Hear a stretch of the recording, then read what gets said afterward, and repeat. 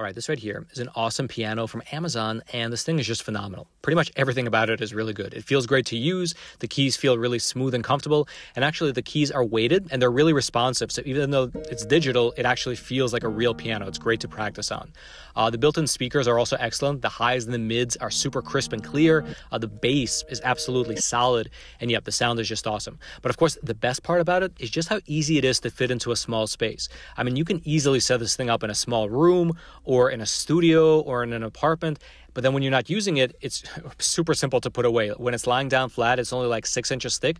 So you can easily store this thing in your closet or under the bed or under the couch, no problem. And yeah, I mean, overall, this is just a phenomenal piano.